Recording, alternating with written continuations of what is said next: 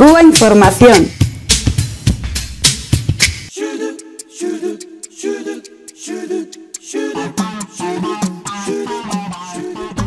Bueno, continuamos con el programa, en este caso hablando de que eh, días pasados, el 1 de diciembre, pues se ha celebrado el Día Mundial de la Lucha contra el VIH-Sida. Y bueno, vamos a hablar de cómo está esta situación en el caso de, Cuba. Así que voy a pasar la palabra a mis compañeros. Bueno, pues eh, Cuba presenta importantes avances en el control del VIH Cuba ha sido también un país demonizado en este asunto en los medios de comunicación, sobre todo en los años 90. Yo, recuerdo que se pintaba a Cuba mm, como una especie de cárcel para los, enfermos de, SIDA.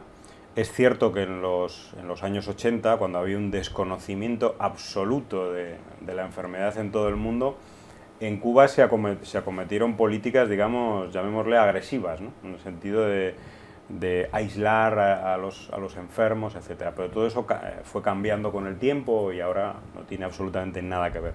Hay una entrevista muy interesante a, a una persona que yo creo que ha sido y es clave en la lucha contra el SIDA en Cuba, que es el doctor Jorge Pérez Ávila.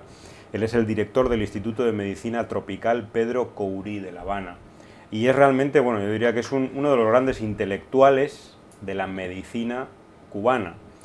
Eh, ha publicado un libro que se llama SIDA, Nuevas Confesiones a un médico, y, él es una persona, yo diría, muy transparente sobre, esto, sobre este asunto, es una, una de estas, una de las, eh, digamos, de los líderes de opinión en Cuba eh, que junto con otros y otras en, Cuba están tratando de, luchar, por ejemplo, contra los prejuicios homofóbicos, una persona que defiende de, alguna, de una manera clara bueno, pues el derecho a la manifestación de, las, de la diversidad sexual, en el, por ejemplo, de las personas homosexuales, etc. Y él cuenta en este, en este libro, por ejemplo, cómo fue la primera vez que él tuvo que, comunicar a, una persona que tenía SIDA. Era el año 1986, cuando en Cuba a esta persona se le encerró en un, se, le, encerró en un cuarto, o sea, no se le dejaba salir eh, entre cristales, había un absoluto desconocimiento en Cuba y en otros países del mundo y esa persona decía, ¿por qué? ¿Por qué no puedo salir yo de aquí? ¿Qué sé yo? Estoy totalmente aislado, que soy contagioso. Y entonces es cuando él le tuvo que comunicar, bueno, pues lo que tenía, ¿no? Y por supuesto era un verdadero, absoluto drama. Es cierto que en aquellos momentos la tasa de, bueno, de fallecimientos era altísima, ¿no? En las personas que contraían el VIH. Bueno, todo esto ha ido cambiando en, Cuba como en muchos otros países, pero hay que resaltar una cosa, que Cuba, dentro de sus enormes dificultades económicas como país eh, en desarrollo y además bloqueado, es uno de esos países que garantiza, por ejemplo, el tratamiento antirretroviral de manera gratuita a todos los eh, pacientes o afectados por el VIH. Eh, es un país cuya sanidad pública pues da todo tipo de, digamos, de apoyo social, psicológico, un acompañamiento permanente, suplementos, eh, hay una dieta específica alimentaria del Estado cubano a estas personas, que además nos dicen eh, no solamente está financiada por el Estado cubano, sino que incluso por eh, el Fondo Global de Naciones Unidas apoya este programa en Cuba. Es decir, que existe un seguimiento y un tratamiento a los pacientes, a las personas que tienen el VIH, yo diría que intenso, ¿no? Cosa que en otros países, con las mismas condiciones económicas de Cuba, pues, pues no se da en la misma medida, ¿no? Y bueno, pues me parece que es también hablar esto de, derechos humanos, ¿no? Como estábamos diciendo antes. Sí, esta es lo que estábamos comentando antes, analizando que, que, se está haciendo mucho en Cuba. Yo creo que es, un, es un, una forma, ¿no? de, ver, de visualizar lo que un país con pocos recursos y con un sistema de justicia social y donde las políticas del gobierno tienen como centro, como eje a las personas, pues puede obtener logros como este en atención primaria, en educación, en salud y en casos tan difíciles como el, eh, las personas afectadas por el VIH.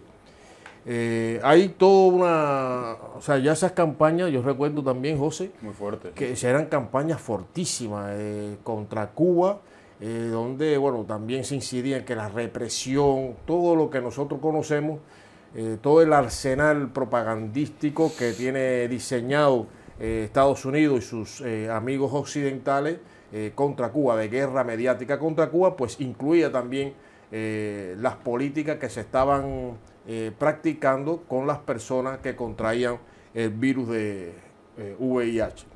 Pues bien, se han obtenido logros importantes y ahora esos logros, eh, incluso con otras políticas, eh, eh, sirven, digamos, de, de modelo, de, pa- de paradigma para otras, otras poblaciones, otros países, otras poblaciones afectadas por ahí. Hay una serie de datos que da, que se aparece aquí, no sé si, si es bueno por ejemplo, habla de que cada año se, se diagnostican más de 1.500 casos.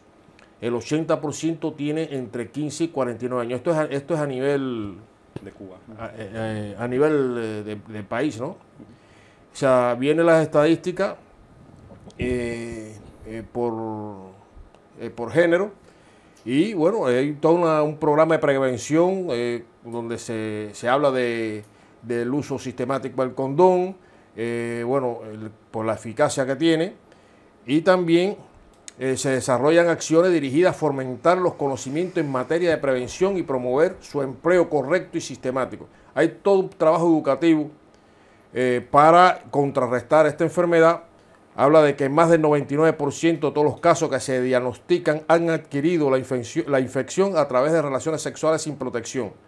Otra forma de transmisión no, no representa un problema en el país. Es decir, que las causas fundamentales de la transmisión de esta enfermedad pues es por las relaciones sexuales y no por otras, como otros países que también eh, hay transmisión por, bueno, el, El niño. el tema de, la- de las drogas, el compartir jer- eh, jeringuilla y demás.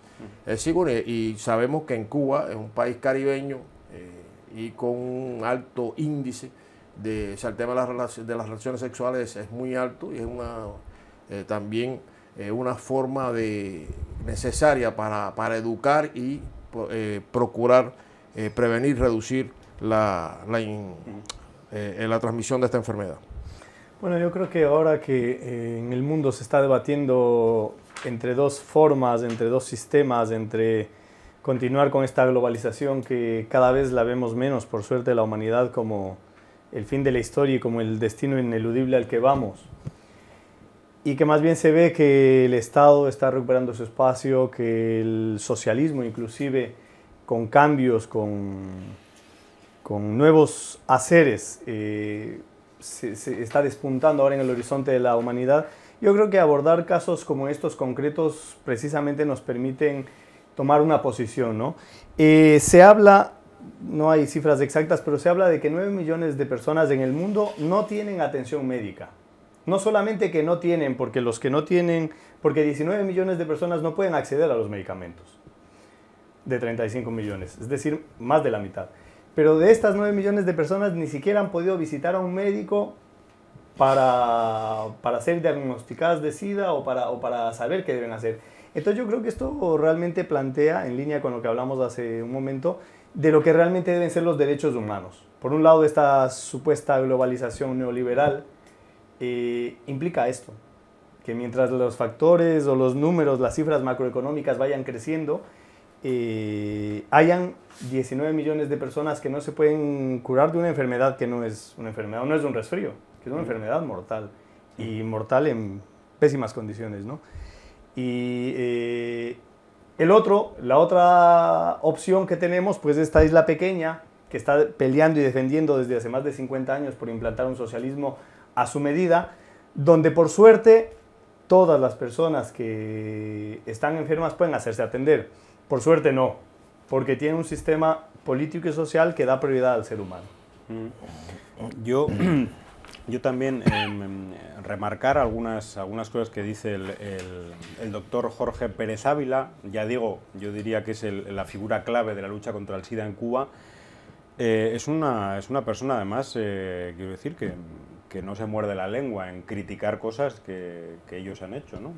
que han hecho en el pasado, incluso eh, determinados factores de la propia realidad de Cuba que inciden negativamente en la lucha contra el SIDA. Él critica, por ejemplo, determinadas campañas que se hacen en Cuba en los medios de comunicación, ¿no? y dice que hay que mejorarlas, hay que cambiarlas y eh, hay que visibilizar precisamente los sectores eh, que son, eh, digamos, claves en este asunto. En los medios de comunicación tienen que aparecer, por ejemplo, parejas de hombres, ¿no? porque, porque está claro, 8 de cada 10 personas infectadas son hombres y 9 de cada 10 de estos son homosexuales. Entonces, lo que, no, lo que él está diciendo es, en la televisión eh, no podemos seguir poniendo spots de la parejita o del zumito o de no sé qué, sino que tenemos que poner las cosas como son. ¿no? Y él, bueno, hace, una, hace un, un análisis crítico incluso pues, de, cosas que se han hecho mal en, en Cuba en este aspecto eh, ya digo, desde, desde la responsabilidad de un líder de opinión, porque es una persona que ha sido clave desde el primer momento en, esta, todas estas campañas contra el SIDA en Cuba, participando de lo bueno, de lo malo, pero sobre todo, bueno, pues del ejemplo de que aporta Cuba al conjunto de América Latina.